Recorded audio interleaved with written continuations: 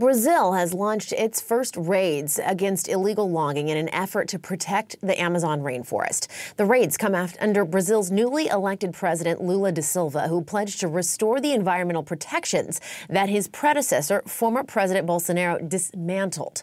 Lula was sworn into office for a third time earlier this month after defeating his far right predecessor in a tight runoff back in October. And during his address to Congress, Lula said one of his goals is to reach zero deforestation in the Amazon. CNN's Rafael Romo has more. They move slowly through the jungle.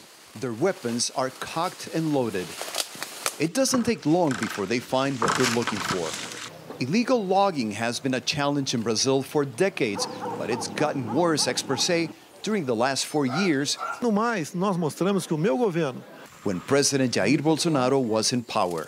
The commander in charge of the unit conducting the raid says the previous government only cared about solving emergency situations but lacked strategic planning to really combat deforestation. His team later makes an arrest.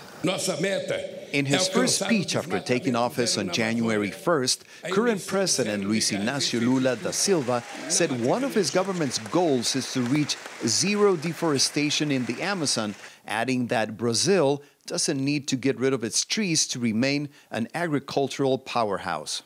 After a series of massive wildfires in the Amazon in August of 2019, then President Bolsonaro said his government had zero tolerance not only for crime in general, but also for environmental issues. But that wasn't the case under Bolsonaro. Uh, during his government, his four years in power, we saw deforestation levels increase by 40% during that time. And so the challenge for Lula here is going to be enormous. Between 2019 and 2022, the four years Bolsonaro was president, Brazil lost more than 45,000 square kilometers of forests, according to Brazil's National Institute for Space Research, or INPE. By comparison, when Lula was first in power between 2002 and 2010, deforestation shrank by 65 percent. The forest, in part, is seen as desirable by loggers and others because not just of the trees themselves, which of course they can sell, um, but also because of what happens when the trees go away, uh, principally cattle pastures, soy, and, and other crops. Back in Pará State, other agents with the Brazilian Environmental Agency destroy an illegal sawmill. Nós estamos podendo atuar. Agent Natalia Castro says she's glad they're once again able to act against illegal deforestation and remain committed to the Amazon survival. Protecting it is not only vital for Brazil, but also for the world.